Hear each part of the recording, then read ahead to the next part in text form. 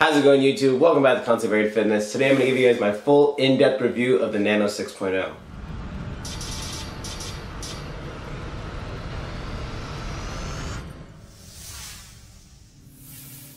The shoe's awesome. We should buy it.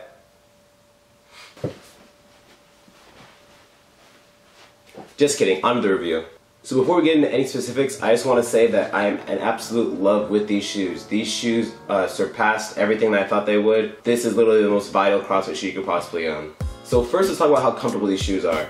Normally when I get my Nano shoes, um, it takes a couple days to break them in. They might be a little uncomfortable, like the arches of your feet might bug a little bit. But when I got these shoes, I, I loved, loved them off the bat. They were super comfortable. I ran like a mile a day that I first wore these shoes. I've gone whole days wearing these shoes and they're super comfortable.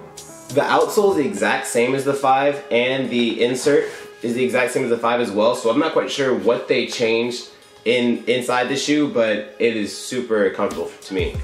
So going straight from how comfortable these shoes are, let's talk about how they feel running in them.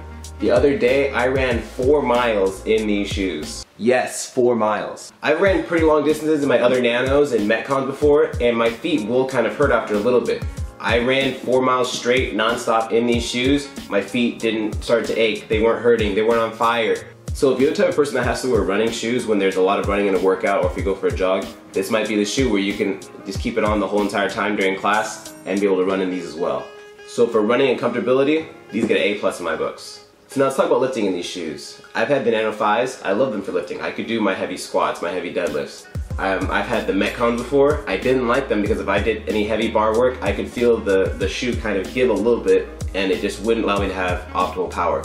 With this shoe, I love it just as much as the 5. I am very sturdy, there's no give in the sole. I'm able to do all the heavy bar work and have zero issues come from my shoes. If there's an issue, it's probably with my technique or because I'm really weak, so. so for lifting, this is an awesome shoe. If you don't have weightlifting shoes yet, or if there's weightlifting in a workout, but there's also a lot of other things like box jumps and running, something where you don't want to wear lifting shoes, this is the shoe you're looking for. Now let's talk about durability. This shoe has a good amount of Kevlar on it, but not as much as the Nano 5. There's a lot more uh, softer fabric along the shoe. On the inside of the shoe, can you see that? You can kind of see it. On the inside of the shoes where the black Kevlar is, it's really rough, allowing you to stay really tight when you're doing your rope climbs. But the one flaw I found with these shoes, the way I personally do my rope climbs, I guess I must place them on my foot a little different than how most people do. But if you'll notice here, you'll notice there's kind of scruffing up right here. It's kind of it's kind of hard to tell, but you can, you can definitely see it in the video. It's starting to tear, tear a little bit.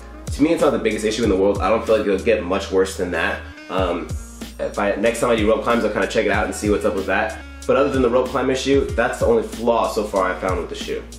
So the fives and the sixes are the same weight of the shoe. So if you've had fives before and you like those, how those feel, they're a very light shoe.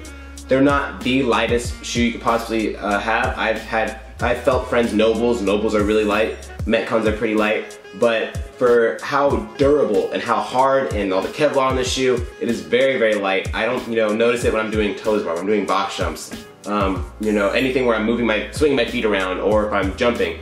These shoes are really light and I had no issues on these slowing me down with anything. And then overall, just a look at this shoe.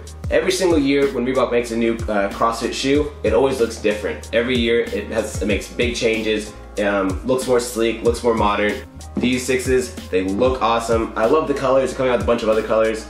They just came out with the all black one with the red bottoms, which is probably my favorite one. I had a pair of fours that color. I wish I was able to snag those, but I already bought these, but I'm happy with these. These are pretty cool too. So overall, very comfortable. You can run in them. You can do your heavy lifting. They're stylish. I can't think of anything wrong with this shoe to be a reason why you should not get it. If you're looking to get your first pair or a new pair of CrossFit shoes, definitely consider getting the Nano 6s. Alright, and that's gonna wrap up today's video. Thank you guys so much for watching. If you have any questions or comments, please feel free to leave them down below. Make sure you follow us on Instagram. We post videos, funny memes, uh, different content going on in CrossFit, so make sure you follow us there. If you enjoyed this video, make sure you hit the like button, subscribe for plenty more videos, and we'll see you guys next time. I've had the Metcons before, and I didn't like them because if I did heavy back squats, heavy deadlifts, heavy cleans, anything where I had a heavy load on me,